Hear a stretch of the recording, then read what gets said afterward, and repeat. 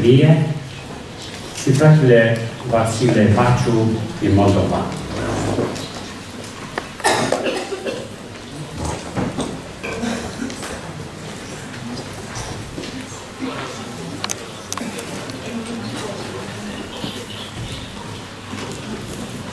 Poate că ne vom întreba cu toții de ce am ales această temă despre răbdare.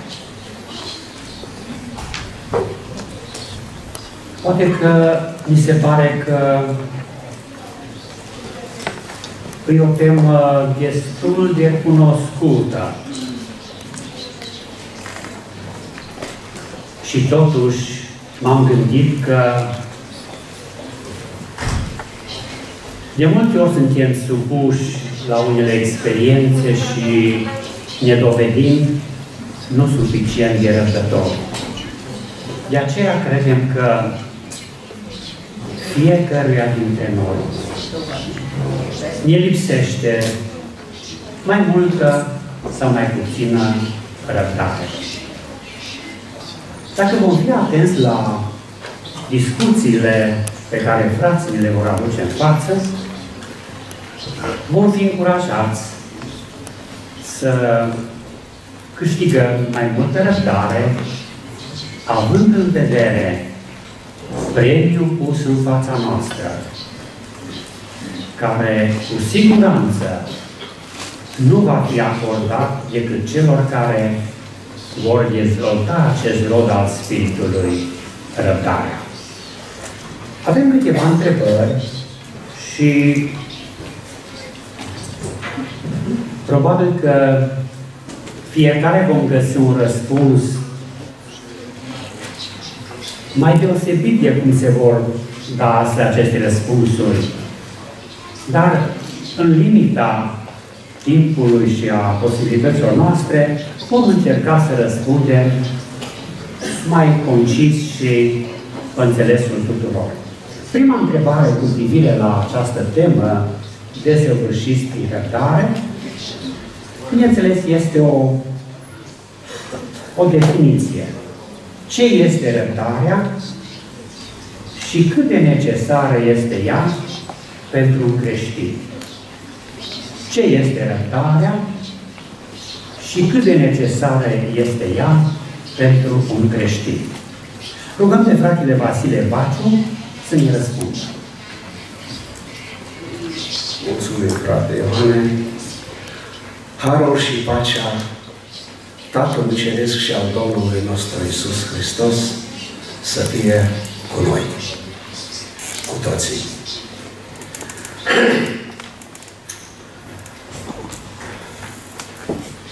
După cum știm, trăsăturile de caracter a Tatălui Ceresc au fost reflectate prin Domnul nostru Isus Hristos. Pe El îl avem ca exemplu.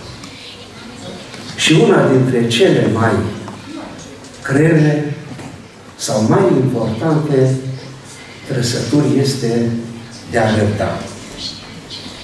De a răbda înseamnă faptul că, sau capacitatea de a suporta greutăți și neplăceri fizice sau morale, puterea de a aștepta cu liniște desfășurarea unor evenimente sau acțiuni.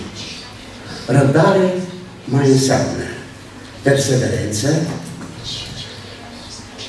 și stăruință.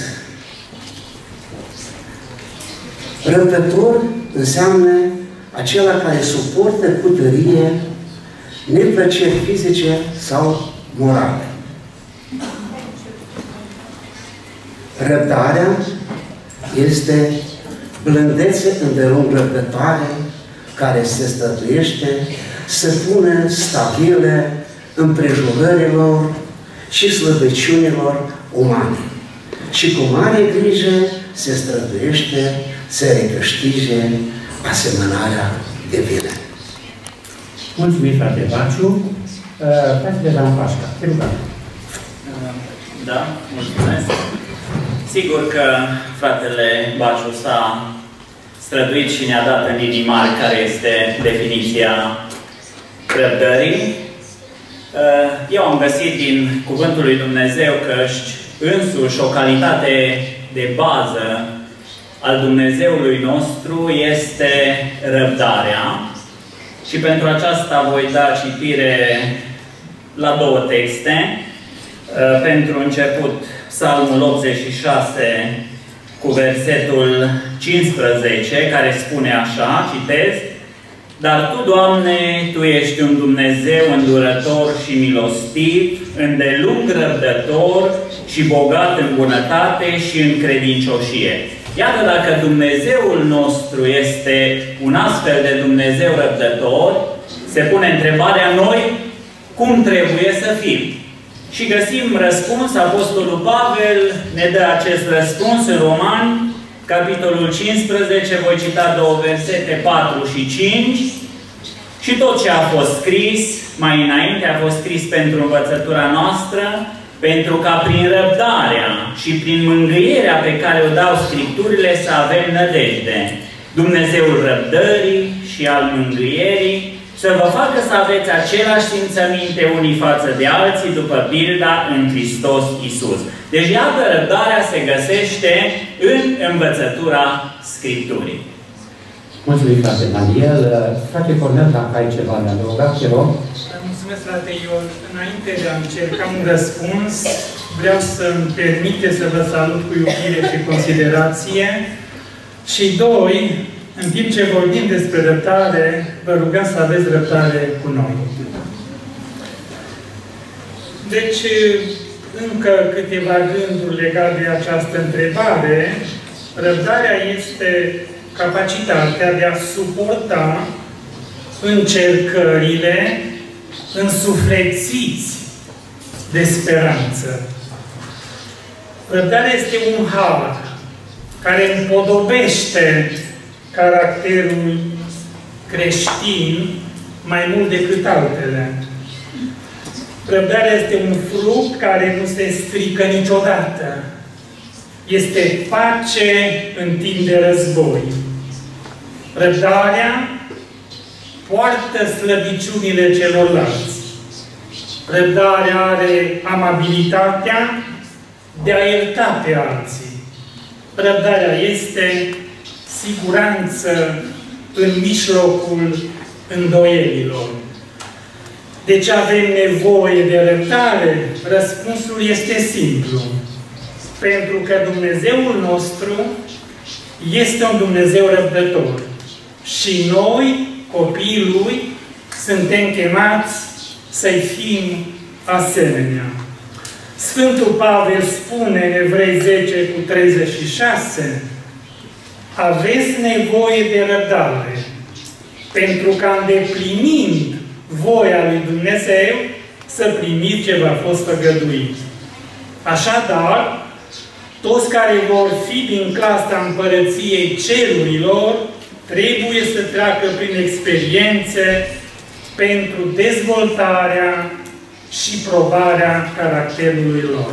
Mulțumesc! Mulțumim, frate Cornel. Dacă careva mai vrea să spună, frate Barțu, te rugăm. O semnificație mai adâncă a răbdării ne arată Domnul Isus în Luca 8 cu 15. Sămânța care a căzut în pământ bun sunt aceia care după ce au auzit cuvântul, își țin într-o inimă, îmi țin într-o inimă bună și curată și fac rod în răbdare. Aceasta se cere și de la noi. Ca rodele noastre să fie făcute în răbdare.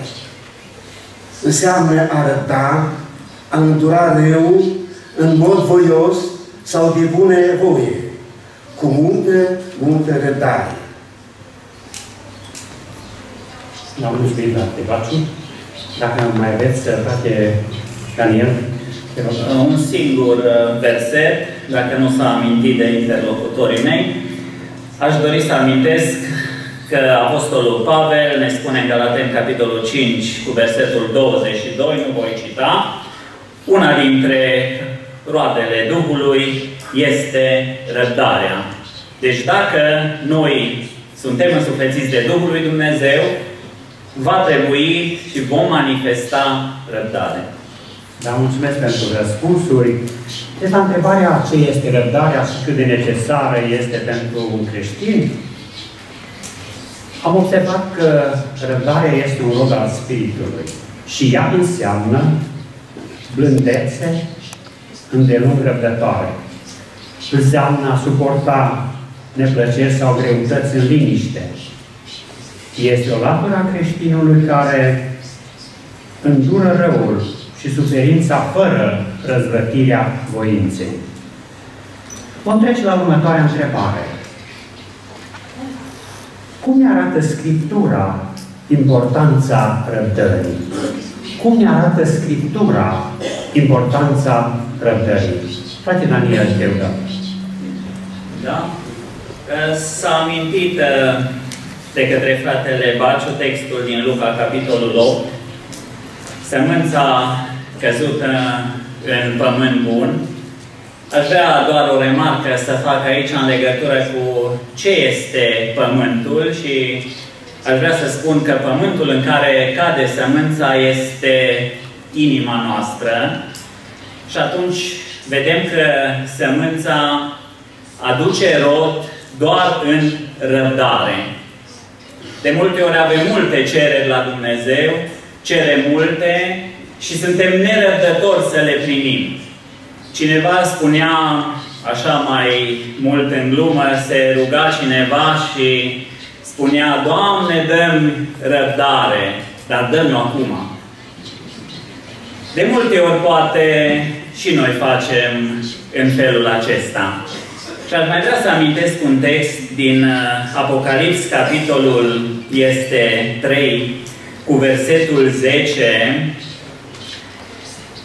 spune așa, fiindcă ai păzit cuvântul răbdării mele, te voi păzi și eu de ceasul încercării, care azi să vină peste lumea întreagă ca să încerce pe locuitorii pământului. Desigur că acest text are și o aplicare în timp, dar acest text eu cred că are și o aplicare pentru noi individual, pentru fiecare. Noi ne odihnim în credință. Așa este promisiunea făcută de Dumnezeu. Dar pentru a ne putea odihni, trebuie să manifestăm sau să păzim cuvântul răbdării lui Dumnezeu. Mulțumim, frate Daniel. Frate Comel, dacă pot răspunde la această întrebare, te rog. Deci, aș completa spunând, uh, răbdarea este o calitate prețioasă și Biblia pune accent pe această calitate. Chiar aș uh, spune că fiecare virtute creștină trebuie însoțită de răbdare. Adică, ca să putem iubi, avem nevoie de răbdare. Ca să putem exercita bucuria creștină în diferite împrejurări și circunstanțe, avem nevoie de răbdare. Ca să putem avea pacea lui Dumnezeu, avem nevoie de răbdare. Deci această calitate trebuie cultivată, trebuie dezvoltată și exercitată în tot timpul, așa cum spune Domnul în Matei 24 cu 13, dar cine va răbda până la sfârșit va fi mântuit. Este o probă a rezistenței, a îndelungii răbdării. De asemenea, Sfântul Pavel spune în Roman 5 cu 3, necazul aduce rădare, iar Iacov spune în 1 cu 3, încercarea credinței voastre lucrează răbdarea. Deci, Biblia uh, scoate în evidență această calitate și fără muncă în sensul acesta, fără efort continuu, nu putem să ne împodobim caracterul cu o piatră atât de prețioasă creștină. Mulțumesc! Mulțumim, frate Cornel. Frate Vasile, te rugăm. Da, mulțumim, fraților. Eu o să spun câteva versete de Sfânta Scriptură care confirmă că Scriptura dă o mare importanță acestei, acestei trăsături de caracter. În Evrei 12 cu 3, Apostolul Pavel, de la 3 la 7, nu o să le citesc, cred că o să le citiți voi singuri, dar de o mare importanță și arată cum Domnul nostru Isus a fost răbdător și care este Fiul care Dumnezeu nu-l pune la încercare sau la probă. Apostolul Pavel, în Roman 15, cu 4 la 5, ne spune și tot ce a fost scris mai înainte a fost scris pentru învățătura noastră, pentru că prin răbdarea și prin mângâierea pe care o dau Scripturile să avem nădejde. Prin altceva noi nu putem avea nădejde. Și cinci, ne arată că Dumnezeu răbdării și al mângâierii să vă facă să aveți același simțăminte unul față de altul, după pilda lui Isus Hristos. Chiar tot, tot Apostolul Pavel, în Colosei 1, de la 10 și 11, ne îndeamnă că să umblăm într-un chip vrednic ca Domnul, că să-și fim plăcuți în orice lucru, fiind răbdători în tot felul de fapte bune și crescând în cunoașterea lui Dumnezeu. Întăriți în toată puterea, potriviți cu tăria gloriei Lui, pentru orice răbdare și îndelungă răbdare cu bucurie. Cât de frumos ne arată aici Pavel, cum trebuie să fim răbdători ca să putem primi gloria Lui și îndelung răbdători cu bucurie. Am mulțumit, frate Baciu. Dacă mai vreți să completați ceva, vă rog. Frate Daniel, frate Cornel. Nu. Deci, iată cum ne arată Scriptura importanța răbdării. Voi aminti și eu un verset care a fost citit în această seară, Evrei 10 cu 36, căci aveți nevoie de răbdare, ca după ce ați împlinit voia lui Dumnezeu, să primiți ce v-a fost păgăjuit. Observăm aici că răbdarea trebuie să fie ca urmare a credinței.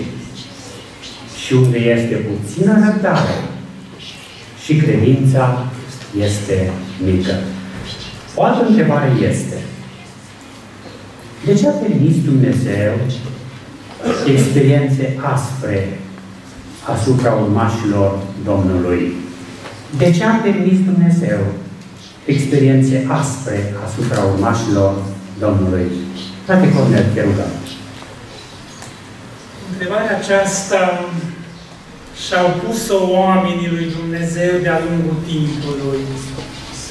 Atunci când ajungem în momente grele ale vieții, atunci când o tragedie a apărut în viața noastră, atunci când am pierdut pe cineva foarte drag, asemenea întrebări, de ce, ne vine în mintea noastră.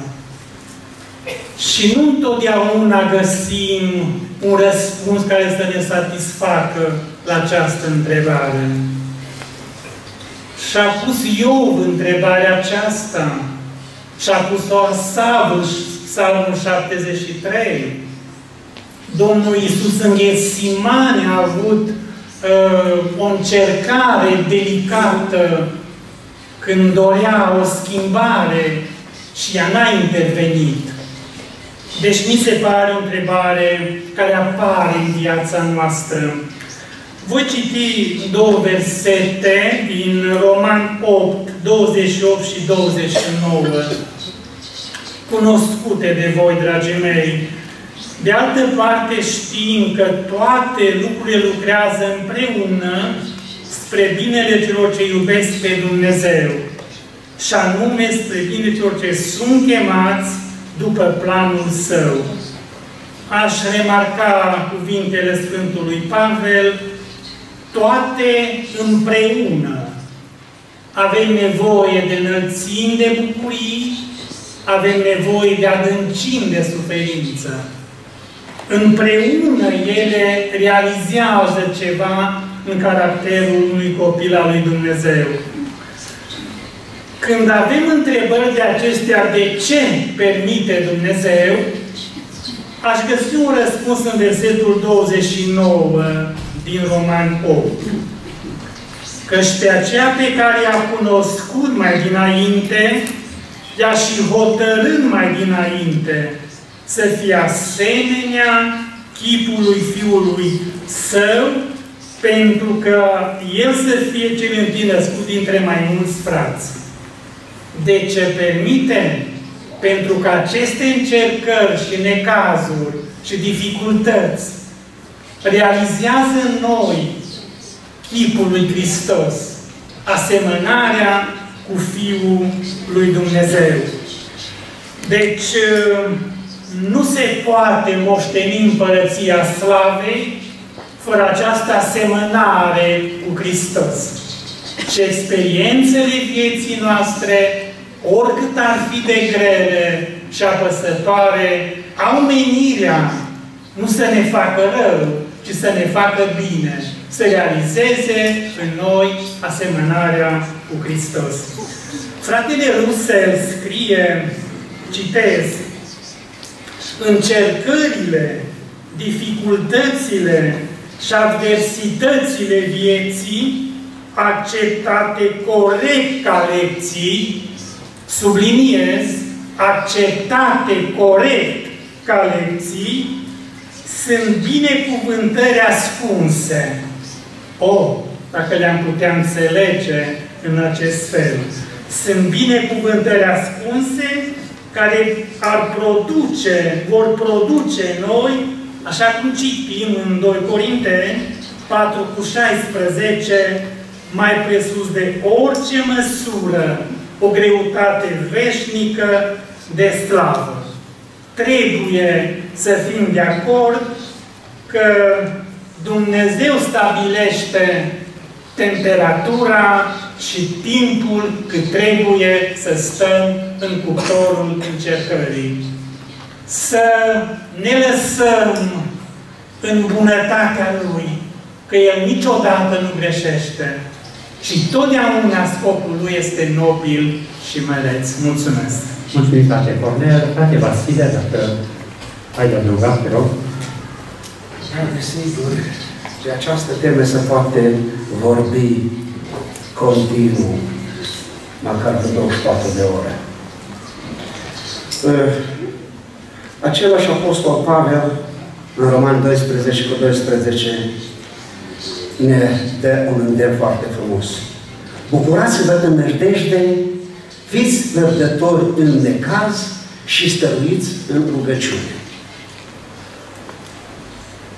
Mana din 30 mai ne spune că bucurați-vă în nădejde și fiți răbdători în necaz. Când e bine, răbdăm mai ușor. Dar când vine necazurile, când vin încercările, atunci vine și greutatea. Aceasta este o parte foarte importantă din marea luptă a vieții creștine. Creștinul trebuie să se lupte împotriva tendințelor naturale ale naturii vechi și să obține victorie. Noi trebuie, noi nu trebuie să cedem înaintea încercărilor și nici să cădem, cădem sub povara greutăților. Noi nu trebuie să permitem că încercările acestei vieți și nu ușoare, să ne înăsprească, să ne să fim închiși, arțegoși, aspri, lisiți de amabilitate. Noi nu trebuie să permitem ca starea care ne înconjoară să ne scadă credința și să ne micșoreze răbdarea. Deoarece providența Domnului le-a acordat, ni le-a acordat ca să ne încerce credința și răbdarea. Tot frumos se spune și în mana din 23 noiembrie, dar vreau să accentuez la Iacob 1 cu 12, unde Apostolul Iacob ne spune că ferice de cine rabdă ispita. Căci după ce le veți fi găsiți buni, va primi cu luna vieții pe care El a promis-o celor care îl iubesc. Aceasta este răsplata care va fi dacă vom răbda până la urmă și vom fi găsiți buni. Da, mulțumim, frate Baciu. Frate Daniel, la întrebarea anterioară, de ce a permis Dumnezeu experiențe aspre asupra urmașilor Domnului? Dacă ai de adăugat, te rog. Da. da. La această întrebare, poate că mulți creștini au așteptări greșite de la Dumnezeu. În ce sens?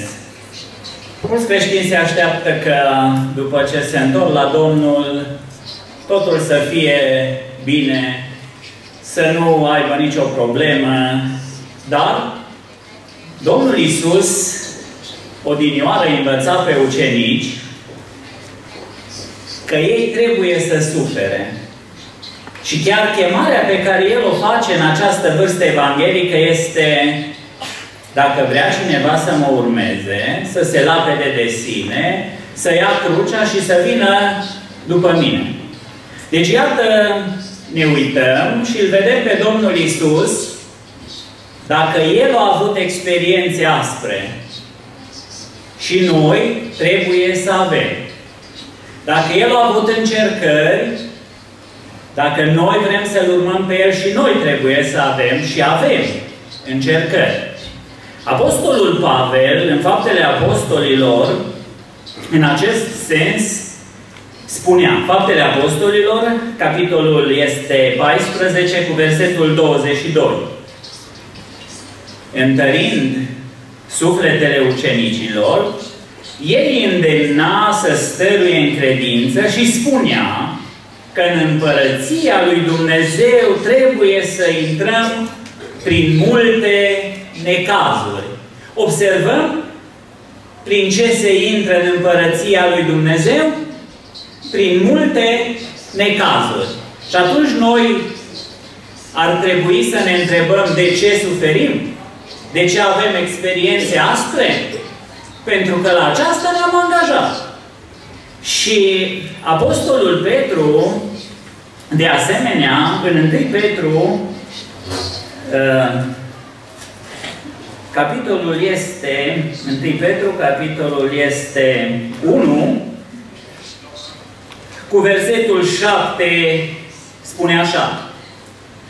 Pentru ca încercarea credinței voastre, cu mult mai scumpă decât aurul care piere și care totuși este încercat prin foc, să aibă ca urmare lauda, slava și cinstea la arătarea lui Isus Hristos, pe care voi îl iubiți fără să-L fi văzut, credeți în El fără să-L vedeți și vă bucurați cu o bucurie negrăită și strălucită și versetul 9 îl voi mai cita, pentru că veți dobândi ca sfârșit al credinței voastre mântuirea sufletelor voastre.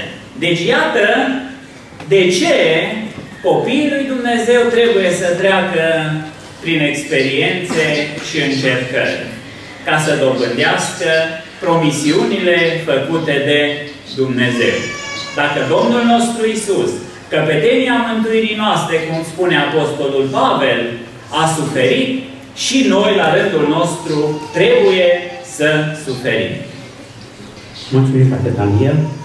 Dacă cealalți frați au să completeze ceva, te rog, frate, probleme. Aș dori să mai adaug, este vorba de 1 Petru 2, versetul este 21, unde citim și la aceasta ați fost chemați, fiindcă și Hristos a suferit pentru voi și v-a lăsat o pildă ca să călcați pe urmele Lui. Mulțumesc! Mulțumim, frate Cornel. Frate Daniel, te rog. Uh, încă un verset. 1 Petru, capitolul 4, cu versetul 12, ne atrage atenția ca și un semnal de alarmă și spune așa, 1 Petru 4 cu 12, Prea iubiților, nu vă mirați de încercarea de foc din mijlocul vostru, care a venit peste voi ca să vă încerce ca de ceva ciudat, care a dat peste voi. Deci, iată, ne atrage atenția să nu ne mirăm de încercarea de foc chiar din mijlocul nostru. Da, mulțumesc, frate Daniel. Frate Vasile, dacă ai ceva de adăugat. Efeseni 4, cu 1 la 4, Apostolul Pavel ne îndeamnă. Vă îndemn eu, deci, cel întemnițat, pentru Domnul, să vă purtați într-un chip vrednic de chemarea pe care ați primit-o. Cu toată umilința și blândețea, cu îndelunga răbdare, îngăduiți-vă unii pe altul în dragoste. Străduiți-vă să păstrați unirea Duhului și legătura păcii. Ce frumoase versete! Nu pot adăuga nimic la ele. Mulțumim, frate Baciu. Domnul. Deci la întrebarea de ce a permis Dumnezeu experiențe aspre asupra urmașilor Domnului, s-a arătat că dacă Domnul a trecut prin astfel de experiențe, urmașii săi trebuie să treacă tot de aici. Am citit într-un replin o descriere interesantă cu privire la necazuri și suferințe. Și acolo spune că necaz uh, derivă dintr-un cuvânt latin, dintr-un cuvânt tribulațion sau tribulum în limba latină, care înseamnă un tăvălut. Și acest tăvălut era folosit pentru a zdrobi spicul de grâu ca să poată fi separat grâul de pleavă. Pleava reprezentând coașa condițiilor pământești. Acest proces de separare este necesar, deși greu, dar numai prin astfel de experiențe aspre și grele, și dacă acestea sunt primite cu bucurie, vor fi dovezi de dezvoltare matură a unui creștin. O altă întrebare este, vorbim de răbdare, față de cine trebuie să manifestăm răbdare? Față de cine trebuie să manifestăm răbdare? Frate Baciu. Da. Sfânta Scriptură ne spune față de cine noi trebuie să manifestăm răbdare. Apostolul Pavel, în 1 Tesalonicenii 5 cu 14, ne roagă. Vă rugăm, de asemenea, fraților, să mustrați pe cei ce trăiesc în neorânduială, să îmbărbătați pe cei dezvădăjduiți, să sprijiniți pe cei slabi și fiți răbdători cu toți. Luați seama ca nimeni să nu întoarcă altuia rău pentru rău. Ci căutați totdeauna să faceți ce este bine atât între voi cât și față de toți. Răbdarea este un dar al Spiritului, care va găsi posibilitatea abundentă de exercitare în toate afacerile vieții unui creștin față de cei din afara bisericii și față de cei din biserică. Și este bine ca noi să reținem că toată lumea din jurul nostru poate avea pretenție la răbdarea noastră. Dar noi, dragi frați și surori, nu avem dreptul de a da pretenții la răbdarea fraților, aproapelui noștri și chiar nici la cei din lume. Scripturile ne îndeamnă în mod repetat. Aveți nevoie de răbdare. Și zi de zi copiii lui Dumnezeu trebuie să manifeste această trăsătură de caracter. Și ea se poate câștiga numai prin trei lucruri. Prin cunoștința, care o putem căpăta din Sfânta Scriptură, prin experiențele și încercările care ne permite Domnul și prin manifestarea sau exercitarea acestei trăsături de caracter. Mulțumim, frate Vasile. Frate Daniel? Da. Sigur că acest răspuns destul de simplu la prima vedere, răbdători cu toți, citat de fratele Baciu din 1 Tesaloniceni, capitolul 5, atât de simplu și atât de greu. Simplu de pronunțat și mai greu de îndeplinit. Față de toți. Sigur că dacă Scriptura vorbește față de toți, acest cuvânt implică multe față de toți, începând de la prieteni, frați, până la chiar la dușmanii noștri. Ce ziceți, este ușor? Încă de la cineva apropiat, rapți mai ușor, așa -i?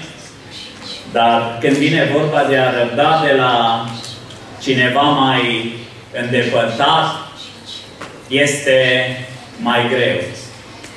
Și aici este un lucru foarte frumos remarcat, de a, uh, un lucru care eu l-am remarcat din ceea ce spune Apostolul Pavel uh, și ce textul citat de fratele Baciu. Aici vedem că spune să sprijinim pe cei slabi. În ce constă acest sprijin față de cei slabi? Și tot uh, Apostolul Pavel ne dă răspunsul în Romani, capitolul 15, începând cu versetul 1 și voi cita și versetul 2, unde citim așa. Noi care suntem tari, suntem datori să răbdăm slăbiciunile celor slabi și să nu ne plăcem nouă înșine. Observăm noi fiecare cred că i-ar place să se încadreze în categoria celor tari. Dar dacă suntem în această categorie, avem și o datorie. Să răbdăm slăbiciunile cui? Celor slabi și să nu ne plăcem nouă. Fiecare din noi, cui să placă? Fiecare din noi, spune versetul 2, să placă aproape lui în ce este bine, în vederea zidirii altora. Care este datoria noastră? Nu să ne plăcem nouă, ci să încercăm să plăcem cui? Celor din jurul nostru, pentru ce? În vederea zidirii nu numai ale a noastră, ci să căutăm și ceilalți să se zidească din atitudinile noastre, din răbdarea noastră, din iubirea noastră, din tot ceea ce manifestăm noi față de cei din jurul nostru. Mulțumim, frate Daniel. Uh, frate Cornel, te rog.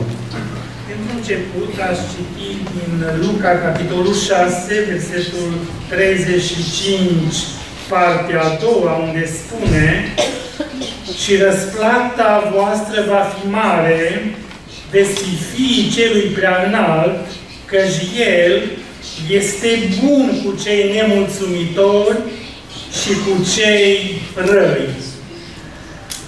Deci, răbdare față de toți. Față de unii, este mai ușor să exerciți răbdare. Față de alții este mai greu. Dar oricât ar fi lista aceasta de lungă, trebuie să înțelegem și parcă din experiențe putem să spunem că atunci când uh, lucrurile ne merg bine în viață, când avem succes, când uh, uh, suntem înconjurați de oameni buni și amabili și blânzi, nu este atât de greu să răbdăm. Dar lista aceasta cuprinde pe toți. Și asta înseamnă că vor fi unii îndrăsneți, vor fi oameni lipsiți de amabilitate și de tact, încrezuți, vom fi răniți de alții, vom fi insultați și noi trebuie să exercităm răbdare. Cum putem, cugetând că Bunul Dumnezeu are răbdare cu noi.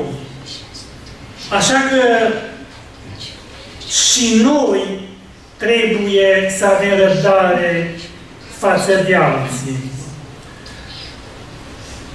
De asemenea, trebuie să avem răbdare cu frații, fiindcă ei sunt copiii lui Dumnezeu. Ei au parte de aceeași chemare. Ei se confruntă cu aceleași probleme și deficiențe de caracter. Așa cum eu îmi doresc ca frații mei să aibă răbdare cu mine, așa trebuie eu, eu să am răbdare față de ei, chiar dacă s-ar întâmpla ca eu să nu primesc totdeauna răbdare. Așadar, răbdare în familie, răbdare în adunare, răbdare în societate, răbdare în fiecare zi și în orice loc. Domnul să ne ajute și să ne ierte când greșim. Mulțumim, frate Condem. Frate Vasile. Apreciez și îmi place mult ce mi-au spus frații și vreau să trag atenția că păstorul Rusel, în volumul 6, pagina 306-307, ne arată că trebuie să fim răbdători tot față de toți. Și acolo puțin o să citesc ne spune că trebuie să avem mare răbdare și nu numai mare răbdare, dar și o răbdare iubitoare și persistență față de acești confrați, membri ai corpului Domnului. Și Domnul nostru Iisus, în Evanghelia lui Ioan 13 și 34, ne dă o poruncă nouă să vă iubiți unii pe alții cum v-am iubit eu. Așa să vă iubiți și voi unii pe alții. Tot Iisus, în Matei 5 cu 44, ne spune. Acolo merge vorba că vechimea a fost că se iubește aproapele tău și să urăște vrăjmașul tău, dar El spune, dar eu vă spun, iubiți pe vrăjmașii voștri, Binecuvântați pe cei ce vă blastemă, faceți bine celor ce vă urăsc și rugați-vă pentru cei ce vă asupresc și vă prigonesc. Și Apostolul Pavel, în Roman 12 cu 14, aproape repete același lucru, zicând, binecuvântați pe cei ce vă prigonesc, binecuvântați și nu blestemați. Îmi place foarte mult versurile unui poet care a scris Fiți blânzi cu cei ce vă insultă, iertați pe cei ce vă lovesc, răbdați, iubiți pe cei ce contra voastre cu vrăjmășie se vorbesc. Cât bine, câtă fericire și câtă dragoste ai adus, iar oamenii drept răsplătire de cruce între tălhari. Mulțumim, frate Baciu. Dacă ceilalți frați mai au ceva de adăugat, față de cine trebuie să avem răbdare, uh, mulțumesc pentru răspunsuri. Aș adăuga și eu să avem răbdare și cu noi înșine. Uneori, pretențiile noastre sunt mai mari decât putem să săvârșim în alergare. Și aici poate interveni descurajarea. N-am făcut progres destul, deci nu voi mai încerca. Satan aceasta așteaptă. De să fim răbdători cu noi înșine. O altă întrebare la care încercăm să răspundem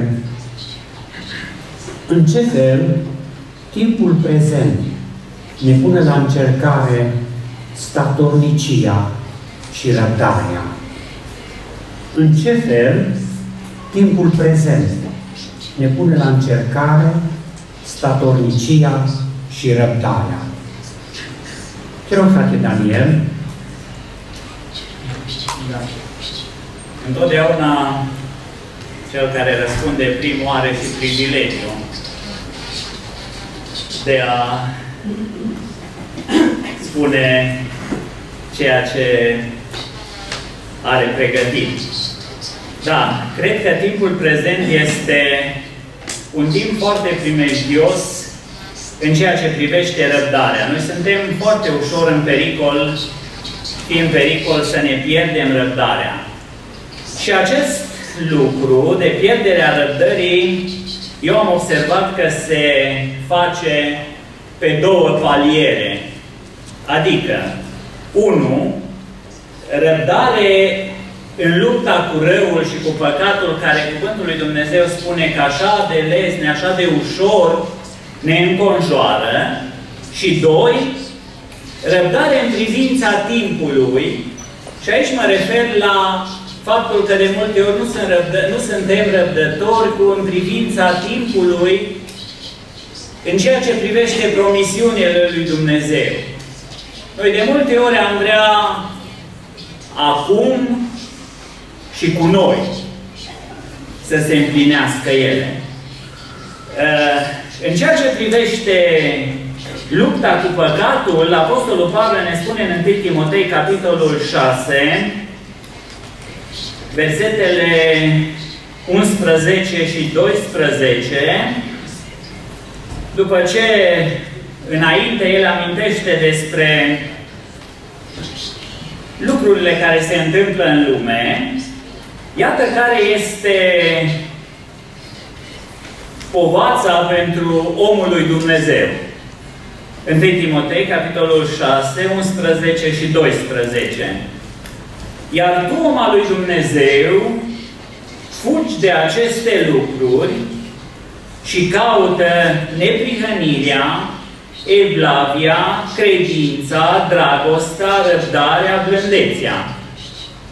Luptă-te lupta cea bună a credinței, apucă viața veșnică la care ai fost chemat și pentru care ai făcut acea frumoasă mărturisire înaintea multor martori.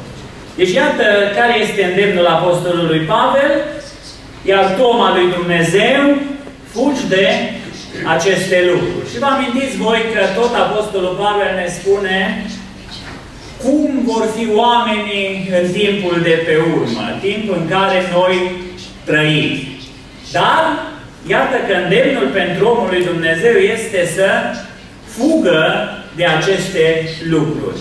De multe ori putem cădea în capcana de a ne lua la trântă, pierd, luptă piept la piept cu păcatul. Uitați aici, Apostolul ne spune ceva, că noi trebuie să fugim. de el. Iar în ceea ce privește uh, celălalt palier al uh, timpului în, uh, în Habacuc, capitolul este 2 și voi cita primele trei versete care spun așa M-am dus la locul meu de strajă și stăteam pe turn ca să veghez și să văd ce are să-mi spună Domnul și ce îmi va răspunde la plângerea mea. Domnul mi-a răspuns și a zis, scrie prorocia și sapă pe table ca să se poată citi ușor. Căci este o prorocie a cărei vreme este hotărâtă. Se apropie de împlinire și nu va minți. Dacă zăbovește, așteaptă-o că își va veni și se va împlini negreșit. Deci, iată, aici s-ar părea că promisiunile lui Dumnezeu se pare că ce fac? Zăbovesc. Oare într-adevăr să zăbovească? Nu. Ce găsim noi? Că timpul este un element foarte important în planul lui Dumnezeu. Dar de multe ori nouă, datorită că ne pierdem răbdarea, mi se pare că făgăduințele și promisiunile lui Dumnezeu zăbovesc. Care este îndemnul pentru noi? Așteaptă-o, așteaptă-le că vor veni negreșit. Dar, așa cum spune și Habacuc, în tot acest timp ce să facem? Să veghem. Mulțumim, frate Daniel. Frate Cornel, te rugăm. Timpul prezent, după înțelegerea noastră, este timpul din urmă. Este timpul sfârșitului. Este perioada secerișului a prezenței Domnului nostru. Dumnezeu ne previne prin Scripturi că acest timp va fi periculos și va fi nevoie de multă răbdare. Trăim un timp critic. Lumea este agitată, nervoasă, nemulțumită, nefericită, cu tot mai multe pretenții. Lumea aceasta nu vrea să îndure, nu vrea să rate. Și noi suntem ispitiți, dragii mei. Degradarea morală este fără precedent. Adversarul folosește strategii împotriva noastră. El atacă cel puțin pe două fronturi și încearcă să ne ruineze. Unu, Doctrinal și doi, Moral. Fratele Dan vorbea despre asta. Ambele aspecte sunt importante pentru un copil al lui Dumnezeu. Și pentru adversar, nu contează în ce șans ne va arunca. În cel din stânga sau în cel din dreapta. Scopul lui este să ne împiedece în a fi credincioși lui Dumnezeu. Și aceea trebuie să fim atenți, să fim precauți. Vremile periculoase prezente sunt prezise de Apostolul Pavel. S-a amintit 2 Timotei 3, de la 1 la 5. În 2 Tesaloniceni, capitolul 2, de la versetul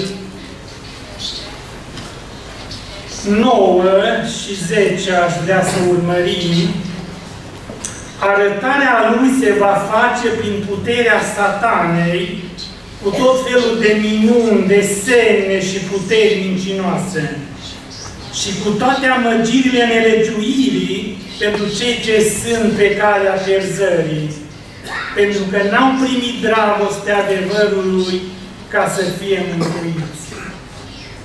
Ideea care poate fi observată în pasajul Sfântului Pavel este că timpul din urmă, timpul prezenței Domnului, va fi însoțită de o lucrare intensă a adversarului și sunt în pericol să cadă cei mulți, și aici este ceva de remarcat, fiindcă n-au primit dragostea adevărului. Pentru a putea sta în picioare în aceste timpuri din urmă, este nevoie nu doar de adevăr, de spiritul adevărului, sau mai exact, de dragostea față de adevăr. Aceasta ne poate ținea în picioare în această perioadă delicată. Trăim o perioadă în care necredința, științele false, religiile orientale câștigă teren în societate. Biblia este contestată, este privită ca o carte relativă, chiar de unii lideri religioși care se numesc creștini. Standardele morale sunt într-un declin îngrijorător. Cu adevărat, este o perioadă critică. Dar Dumnezeu este la cârma poporului său. El s-a îngrijit de noi ca să contrabalanceze aceste primejdii ale timpului actual prin lumina adevărului prezent, pentru care îi suntem recunoscători Domnului. Mulțumesc! Da, mulțumim, uh, frate Vasile, te rog dacă ai și tu un gând. Puțin ce frații n-au avut cred că au aceasta, dar în reprinterul 2155 ne se spune că Domnul a prevenit pe poporul său în privința mare nevoi de răbdare, mai ales în seceriș, sau sfârșitul acestui veac. Domnul nostru Isus în Evanghelia lui Luca ne spune, capitolul 21, spune acolo despre căderea, distrugerea Ierusalimului și venirea Fiului Omului. Începând cu versetul 12 se spune, Dar înainte de toate acestea, vor pune mâinile pe voi și vă vor prigoni. Vă vor da pe mâna sinagogilor, vă vor arunca în temnițe și vă vor târâ înaintea împăraților și înaintea dregătorilor din pricina numelui meu. Aceste lucruri vor, vi se va întâmpla ca să fiți mărturie. Țineți bine minte și nu vă gândiți din, mai dinainte ce veți răspunde. Veți fi dați în mâinile lor până și de părinții, frații, rudele și prietenii voștri și vor omorâ pe mulți dintre voi. Veți fi urâți de toți din pricina numelui meu. Vedeți ce îi aștepta pe apostoli și pe urmașii Domnului Isus prigoniri și multe necazuri și greutăți. Fratele, frații și mai ales fratele uh, Ion a accentuat că în acest timp, în ultimele, să zicem, zile sau luni, sau poate chiar și ani a sfârșitului timpului acesta, vedem ce se face în jurul nostru. Ce dezastru este în lume. Că libertatea care o au oamenii, o doresc și unii dintre frați. Dar o libertate care păgubește pe creștini, s-a amintit azi și se vor mai aminti în privința disprânării sau, mai bine zis, de nu a respecta instrucțiunile și povățăiturile care ne sunt date în Scriptură. Și în versetele 18 și 19 ne mai spune că niciun păr din cap nu se va pierde. Dar prin răbdarea voastră vă veți câștiga sufletele voastre. Așa că, dragii mei, trebuie să răbdăm. Mulțumim, frate Vasile. Eh, frate Daniel Avelia, uh, Da, scurt, aș dori să amintesc ceva din 2 Petru, capitolul este 3. Voi cita trei versete, 3 și 4 pentru început, în, ceea, în sprijinul ceea ce fratele Cornel amintea, înainte de toate să știți că în zilele din urmă vor veni bagiocoritori, plini de bagiocuri care vor trăi după poftele lor și vor zice, unde este făgăduința venirii Lui? Căci de când au adormit părinții noștri, toate rămân așa cum erau de la începutul zilirii. Este, sunt adevărate în timpul în care trăim noi aceste versete? Se întâmplă așa. Dar uite, uitați în 2 uh, Petru, tot aici, în capitolul 3, cu versetul 9, Dumnezeu vine cu răspunsul prin apostol și spune Domnul nu întârzie în împlinirea făgăduințelor Lui cum cred unii, ci are îndelungă răbdare pentru voi, observăm din nou, lucrează ce? Îndelungă răbdarea lui Dumnezeu și dorește ca niciunul să nu piară și tot să vină la o crăință. Mulțumim, frate Daniel. Uh, dacă, frate Cornel, mai ai ceva de adăugat? Mulțumesc. Mulțumim. Deci, la întrebarea în ce fel timpul prezent ne pune la încercare statornicia și răbdarea, aș vrea doar să accentuez ideea că una dintre lucrările timpului nostru din partea celui rău este de a ne prinde în capcana lui și a ne abate de la Sfânta Scriptură, care este Cuvântul Viului Dumnezeu, și a alerga după uh, promisiuni închipuite și mai mult a alerga după unele mici vindecări fizice în locul binecuvântărilor spirituale primite celor mai mult decât viitori. Mergem un pic uh, mai repede și vă rog, dacă puteți să limitați răspunsurile la următoarea întrebare. Care este răsplata celor ce practică răbdarea? Frate Cornel, te rog. Răsplata poate fi, poate fi privită din două puncte de vedere. O răsplată prezentă și cea de-a doua, o răsplată viitoare de plină și veșnică. Cum am putea avea o răsplată prezentă, practicând răbdarea?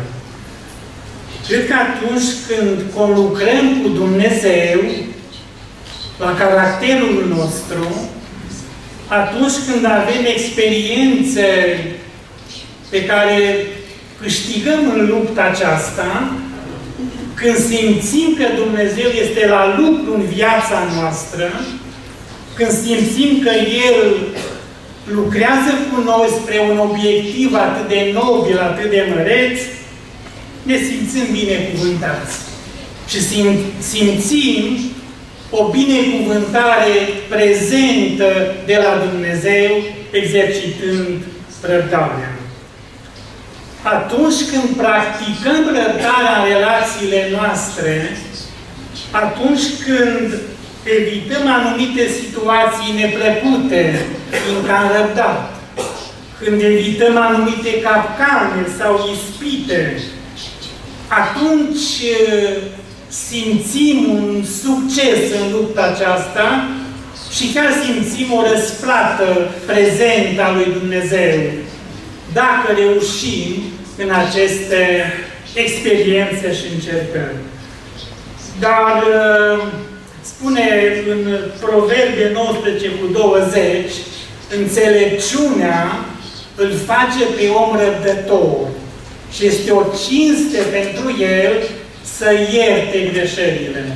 Când ne încadrăm în această ordine divină, simțim o binecuvântare, o răsplată, dacă vreți. Dar există o răsplată glorioasă, viitoare, pentru cei care practică răbdarea. Ă, spre exemplu, în Evrei 6 cu 12, prin credință și răbdare veți moșteni făgăduințele. Sau, în Evrei 10 cu 36, practicând răbdarea, împliniți voia lui Dumnezeu și veți primi ce v-a fost făgăduit. Deci aș privi din aceste două puncte de vedere uh, răsplata răbdării. Mulțumesc! Mulțumim, frate Cornel. Frate Vasile, te rugăm. Uh, Domnul nostru ne spune Evanghelia lui Matei 10 cu 22. Și voi veți fi urâți de toți din cauza numelui meu. Dar cine va răbda până la sfârșit, acela va fi mântuit. De asemenea, tot în Matei 24 cu 13, încă o dată se confirmă că cine va răbda până la sfârșit, va fi mântuit.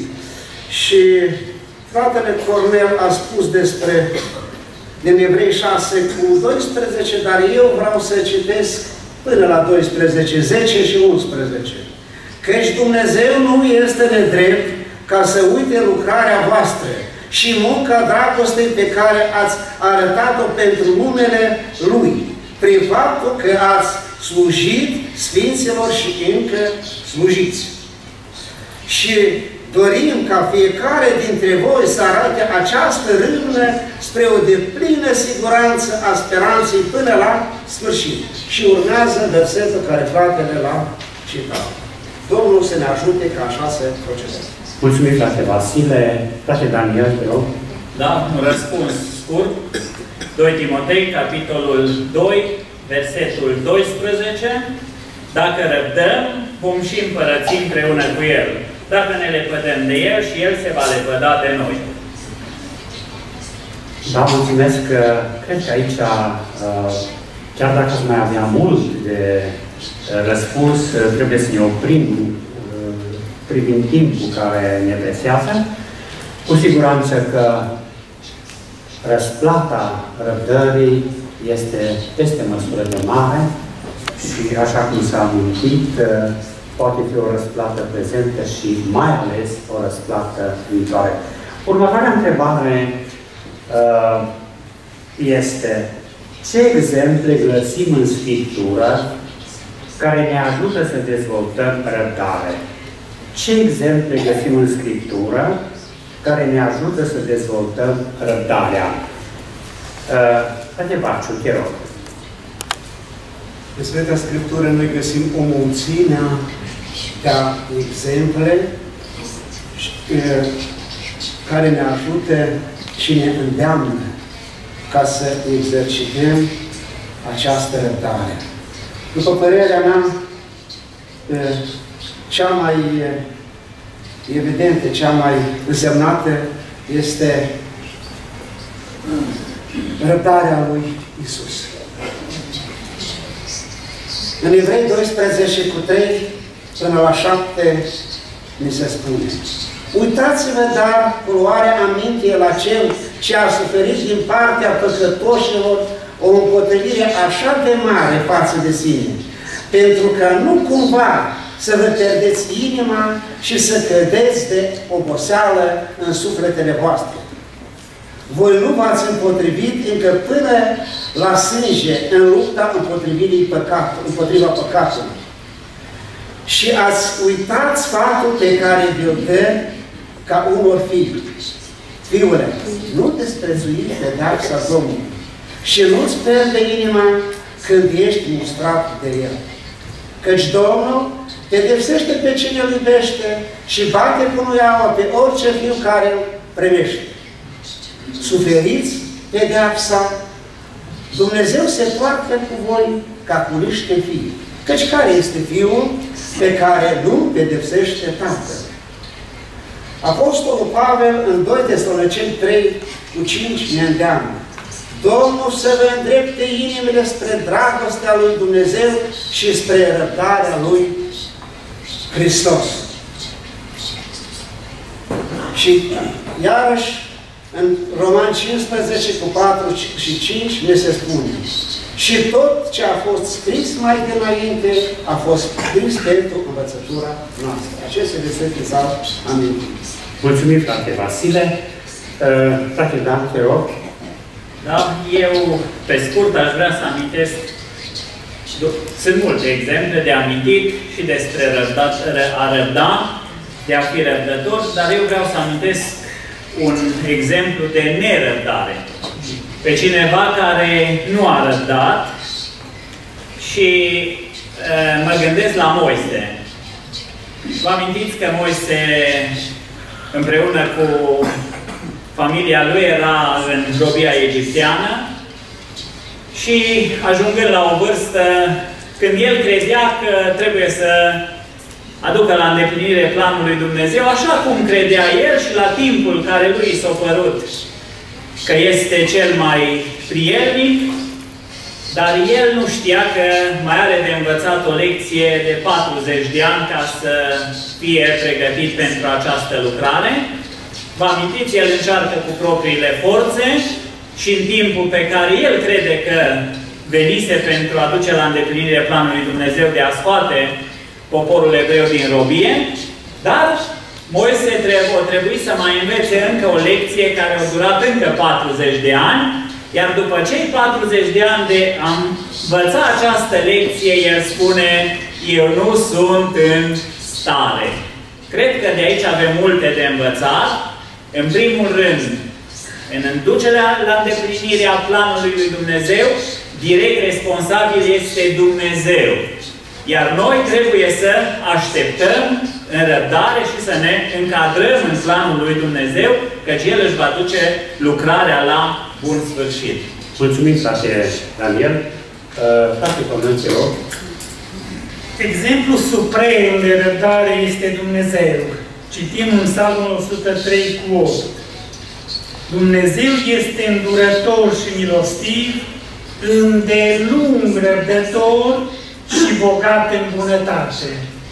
Exemplu de săvârșit este Hristos amintit, citesc un singur verset, din uh, 1 Timotei 1 cu 16, dar am căpătat îndurare, spune Sfântul Pavel, pentru ca Iisus Hristos să-și arate în mine, cel din tâi, toată îndelunga Lui răbdare, ca o pildă celor ce ar crede în El și în urmă să capete viața veșnică.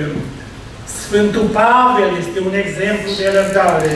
Aș aminti și eu, pe scurt, câteva pasaje de nerăbdare. 1. Israel n-a avut răbdare să aștepte pe Moise, care era pe muntele Sinai. Și Aron a cedat la presiunea poporului, săvârșind un păcat grav. Saul n-a avut răbdare să aștepte pe Samuel și a fost lepădat de Dumnezeu. Sara n-a avut răbdare să aștepte împlinirea făgăduinței divine și a recurs la Agaz. Deci noi să luăm exemplele pozitive de răbdare din Scriptură, iar din cele negative să învățăm să nu facem ca ei. Mulțumesc, frate Cornel. Uh, deci, întrebarea ce exemple avem în Scriptură, cred că ar fi mai mult, mai multe exemple. Aș aminti și eu unul. Uh, Apostolul Pavel îl amintește pe Iov, hai pe Iacob, îl amintește pe Iov ca un exemplu de răbdare, care la un moment dat a zis să nu primim de la Domnul și răul așa cum primim binele. Uh, răbdarea lui Iov este uh, un exemplu și o încurajare pentru noi toți. Uh, vom încerca să răspundem și la următoarea întrebare, dar foarte scurt. Uh, ultima întrebare, deci, din seara aceasta. Cum putem dezvolta mai multă răbdare? Cum putem dezvolta mai multă răbdare? Frate Daniel, te rog. Uh, da. La această întrebare, sigur că sunt multe lucruri arătate în Scriptură prin care noi putem să dezvoltăm uh, răbdarea. Aș aminti doar unul din cauza timpului care ne presează și care nu are răbdare cu noi, se pare, dar noi avem cu el, cu timpul, Iacov, capitolul este 4 și versetul 3 și aici aș aminti ca idee răbdarea se, se capătă prin rugăciune și a veghea în aceasta. Și zice Iacov, capitolul 4, cu versetul 3, sau cere și nu căpătați pentru că cere rău cu gând să risipiți în plăcerile voastre. Deci iată, de multe ori ne punem întrebarea și suntem nerăbdători și zicem de ce nu răspunde Dumnezeu la rugăciunile noastre. Și de multe ori nu ne dăm seama că ne-am rugat nu după voia Lui, dar rugăciunile după voia Lui și a veghea în acestea sigur că ne ajută să și ne duc să ne, duc, ne conduc să avem răbdare. Mulțumesc, frate Daniel. Uh, frate Cornel, te rog. Aș enumera, fără să intru în detalii, cum putem dezvolta mai multă răbdare, repetând prima parte, prin rugăciune, doi, prin creșterea în cunoștință, trei, prin experiențe uneori neplăcute, 4. Prin meditație, contemplând caracterul lui Dumnezeu, a Domnului Isus și a Sfinților Săi. Și aș încheia spunând ceva din Apocalips 13 cu 10, unde scrie, aici este răbdarea și credința Sfinților. Doamne, dă-ne această credință și răbdare a Sfinților. Vă mulțumesc! Mulțumesc, frate Cornel. Uh, frate Vasile, te rog, cum putem câștiga mai multă răbdare? Foarte scurt. Mai multă răbdare putem câștiga dezvoltând îndelunga răbdare. Că după ce am răbdat toate, să mai răbdăm și până la capăt. Și pe scurt, vreau să închei cu o poezie. Și nu predic cu atâta jale la cărărușa ce în urmă ți-a rămas. Tot înainte drumul veții tale, pășește cu credință, pas cu pas, fiindcă știi că după osteneala, răbdarea, încercările de acum, te așteaptă acolo, în cerul, sărbătoarea, cu luna ta și capătul de drum. Mulțumim, frate Vasile, mulțumesc și celorlalți care au răspuns la întrebare. Deci, așa cum uh, ați observat, uh, putem câștiga mai multă răbdare prin rugăciune, prin creșterea în cunoștință, uh, prin creșterea în credință și totodată prin cunoașterea elementului timp. Să nu așteptăm ca cei din jurul nostru să aibă multă răbdare cu noi, chiar nici de la noi să nu avem prea mari pretenții la începutul alergării noastre, dar trebuie să așteptăm de la noi să fim răbdători pe măsură ce trece timpul în școala lui Hristos. Dumnezeu să ne binecuvinteze pe toți ca să câștigăm tot mai multă răbdare. Mulțumesc fraților care ne-au ajutat la această lecție și dorim ca Dumnezeu să-i binecuvinteze. Vom încheia această parte a programului nostru cu o cântare, fratele Daniel uh, ne va spune. Vă mulțumim că ați avut răbdare cu noi. Domnul să ne binecuvânteze pe toți!